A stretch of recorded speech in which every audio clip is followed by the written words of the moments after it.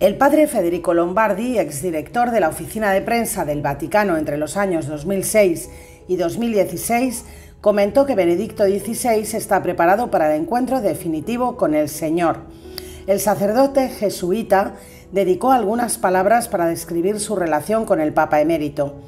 El padre Lombardi dijo que acompañó a Benedicto XVI casi todo su pontificado, hasta su renuncia en 2013.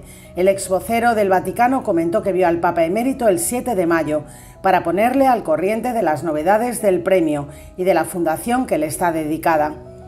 Además reconoció que Benedicto habla en un susurro y para expresar sus verdaderos pensamientos, su secretario, el arzobispo George Ganswain, lo ayuda en esta mediación.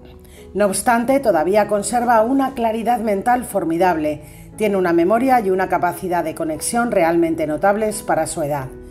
Lombardi dijo que a pesar de su fragilidad, Benedicto XVI transmite serenidad, creo que también gracias a una vida intensa hecha de oración. Se despide siempre regalándote una hermosa sonrisa y se siente preparado para el encuentro definitivo con el Señor.